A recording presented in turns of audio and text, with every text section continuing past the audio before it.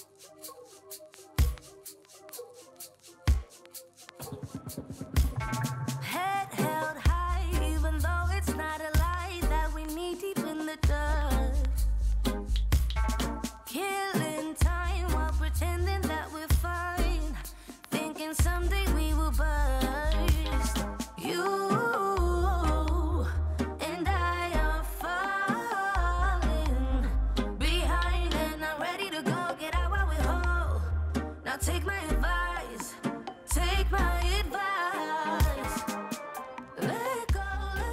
Hey everyone, welcome back. My name's Graham and this is the Knead Feed, where every week we'll focus on one original recipe that I've developed to share with you. Today, I wanted to share with you a Mediterranean dish that I really love. It's a chermoula marinated sea bass with Israeli couscous and fennel confit. And if none of those words made sense, hang in there. All will be explained. To start with, I'll show you how to toast the spices for the chermoula recipe. I have a pan over medium heat. I'm adding one tablespoon of cumin seed and one tablespoon of coriander seed. Then I'm adding a teaspoon of Aleppo chili and a little bit of salt. If you don't have Aleppo chili, you can use paprika. Toast them until they start to smoke. Be sure to shake them throughout so they don't burn in the bottom of the pan. Once the spices turn a little bit brown, they're finished. Be sure to pour them out into another container because they'll continue to cook in the pan. Next, I'll rough chop one cup of parsley and one cup of cilantro.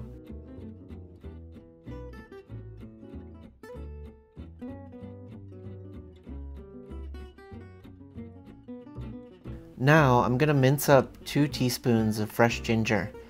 I really love using fresh ginger because it packs so much flavor.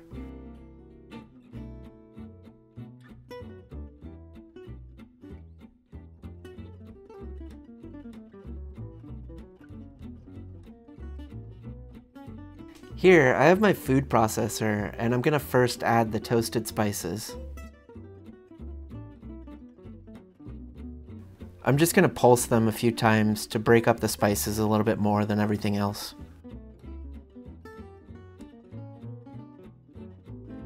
Here I'm adding fresh garlic, the minced up ginger, a half a tablespoon of paprika,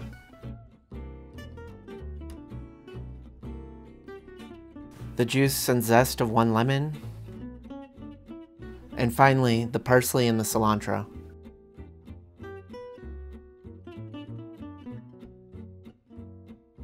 A good pinch of salt,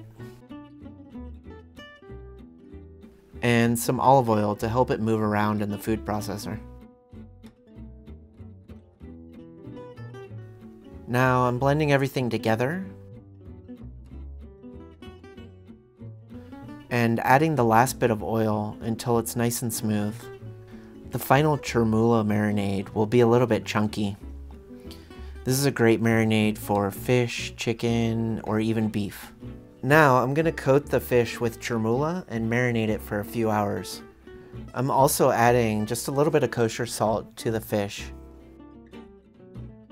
Make sure the fish is fully coated in chermoula. Mmm, doesn't that look good? Next, I'll show you how to make the Israeli couscous. Here, I have a pan over medium heat, and I'm adding enough vegetable oil to cover just the bottom of the pan. Once the oil starts to shimmer, add the couscous. Give it a good stir so all the couscous is coated in oil. After a few minutes, it'll start to toast and turn a beautiful golden brown color. Be sure to keep stirring the couscous so it doesn't burn on the bottom of the pan. Then add 1 and 3 quarter cups of liquid, either water or stock, and 1 tablespoon of turmeric powder. I've added the turmeric to the couscous to give it a bright, beautiful yellow color.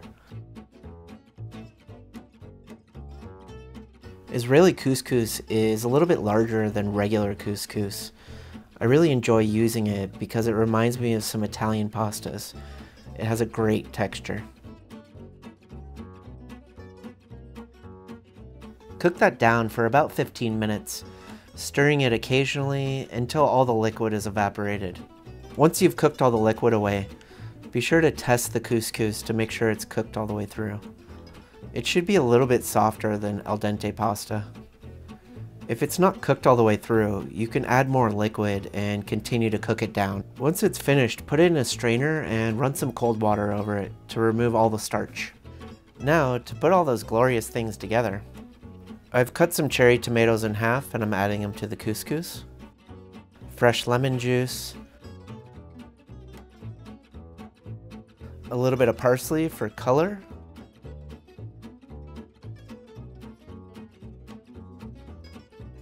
some salt. I'm also adding some delicious fennel confit. If you're interested in learning how to make the fennel confit, I did a whole video on it. Check out the link in the description below. I like the couscous at room temperature, but if you want it hot, you can always heat it back up again.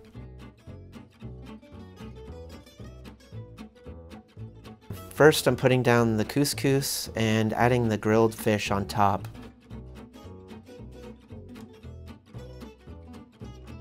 I've picked a little bit of fennel fronds and placed them around the plate.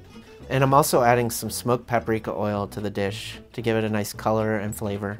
There's a video for the smoked paprika oil down below if you're interested in learning how to make that. Doesn't that look nice? Makes you want to eat it. I really hope you enjoyed the video, guys. If you did, leave us a like. It really helps the channel grow. Be sure to subscribe for all the latest recipes, tricks, and tips.